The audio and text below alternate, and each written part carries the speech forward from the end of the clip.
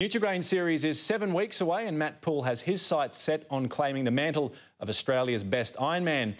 Pooley and some of our other top Ironmen were in their racing attire this afternoon, but not on the beach. This time it was in the name of charity. The Nutri-Grain Ironman series always has the coolest athletes.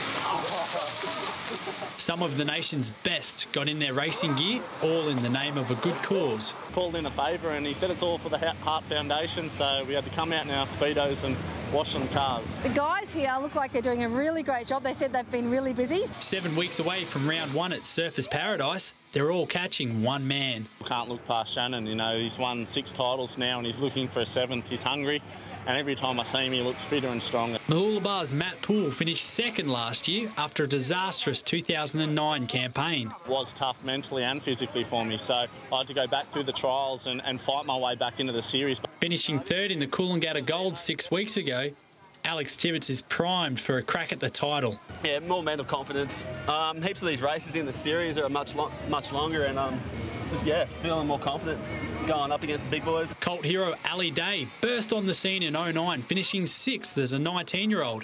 He recently changed clubs and couldn't be happier with the move north. We're down here at the car wash and uh, with our shirts off and stuff like that. You definitely couldn't do that on the south coast of New South Wales. So. Alex Chamberlain, 7 News. I thought I saw your limousine go through there. I was wondering where you were this afternoon, Bruffy. Yeah, whatever. I think some of the boys might have been showing off. What do you think? Mate, they're the only ones who can get away with it, so good luck to them. Yep, well good boys. idea. Thank you. Uh,